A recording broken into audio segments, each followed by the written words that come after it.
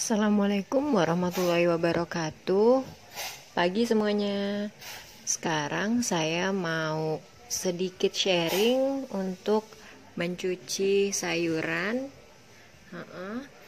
Kita mau cuci kangkung, lalu gimana sih cara nge-save kangkung biar lebih krenyes, lebih segar? Kita bisa gunakan bioglas. Pertama kali kita bisa cuci kangkung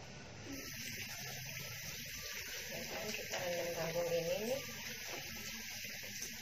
kita cuci sama garam kita pakaiin garam ya.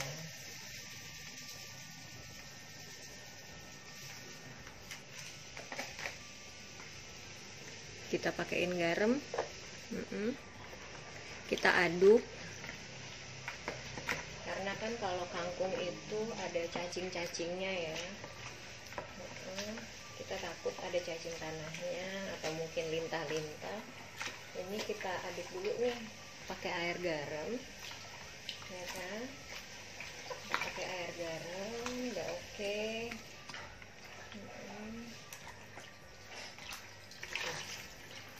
jadi kita pengen biar kotorannya keluar semua.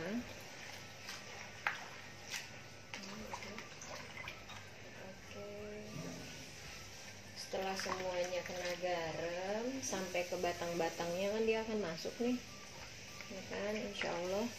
Cacing-cacingnya udah pada mati.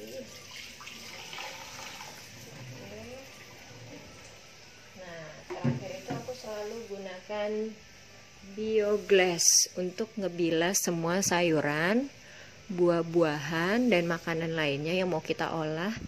Kita cuci pakai air bioglass di mana kalau kita alirkan air keran ini ke bioglas nah dia akan berubah menjadi air heksagonal. Strukturnya itu lebih rapat lebih bagus dan baik digunakan untuk semua olahan makanan.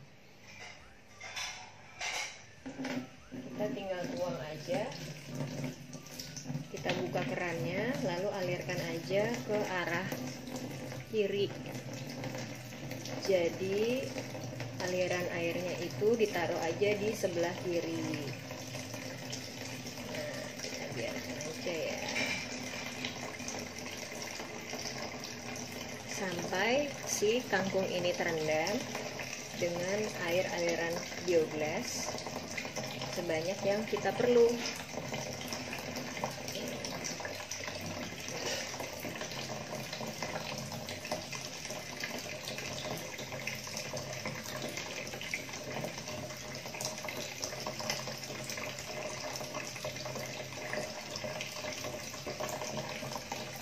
kira-kira sudah cukup kita bisa stop. Kita stop. Nah, dia udah kerendam.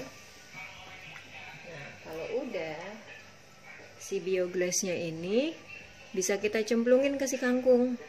Nah di sini ketika airnya dan juga sayurannya menempel pada bioglas ion negatif ini juga akan bekerja. Ketika kita diamkan 10-15 menit air di dalam ini akan kayak oksigen juga.